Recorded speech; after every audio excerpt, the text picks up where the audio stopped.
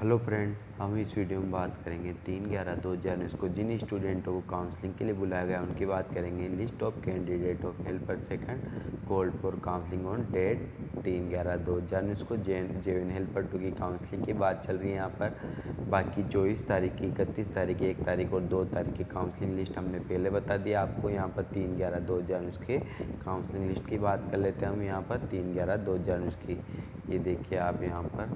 तीन ग्यारह दो हज़ार उन्नीस की काउंसलिंग लिस्ट में किस किस को बुलाया है?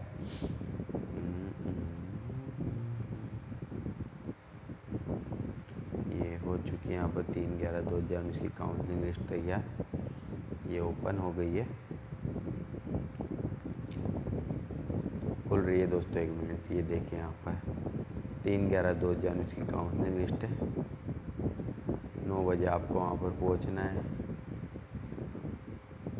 जिन विद्यार्थियों का सिलेक्शन हो चुका है। उन विद्यार्थियों को हमारे चैनल की तरफ़ से बहुत बहुत शुभकामनाएँ दोस्तों।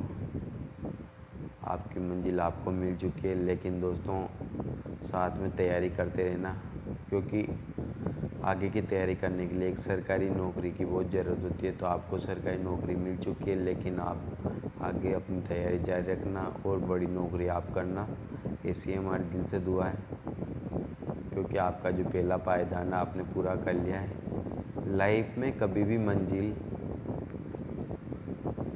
एक लक्ष्य नहीं होना चाहिए। मतलब कभी भी यूँ नहीं कि मंजिल मिल जाए। अगर मंजिल मिल जाएगी ना तो आपकी ज़िंदगी जीने का मज़ा ही नहीं आएगा।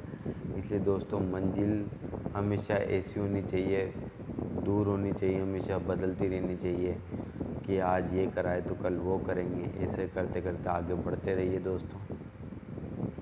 तो ठीक है दोस्तों 260 स्टूडेंट है। जय हिंद, जय भारत, जय राजस्थान।